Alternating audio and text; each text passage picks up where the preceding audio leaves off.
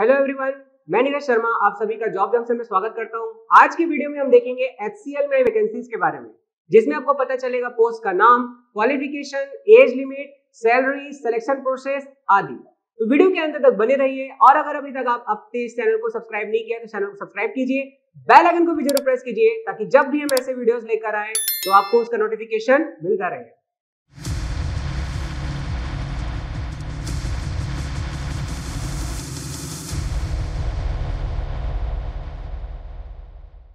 बात करते हैं एस में वैकेंसीज की।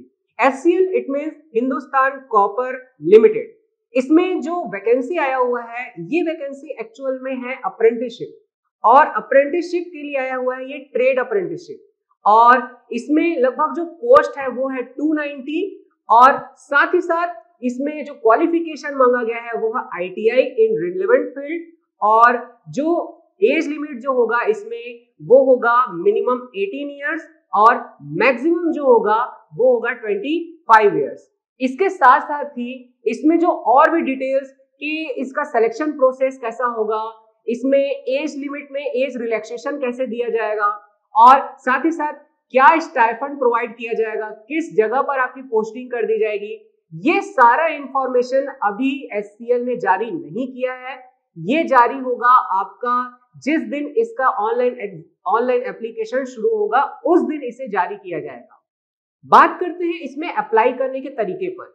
तो अप्लाई करने का तरीका ऑनलाइन रखा गया है, जिसका लिंक आपको इसका ऑफिशियल वेबसाइट पर मिलेगा। साथ ही साथ हमारे डिस्क्रिप्शन बॉक्स कमेंट एरिया पर भी आपको मिल जाएगा।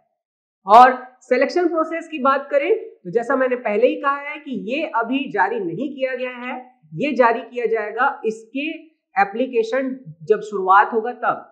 अब बात आता है कि ये शुरुआत कब होने वाला है। सो so, एप्लीकेशन का डेट शुरू होगा 1 जुलाई 2022 से और इसका लास्ट डेट होगा 15 जुलाई 2022 तक।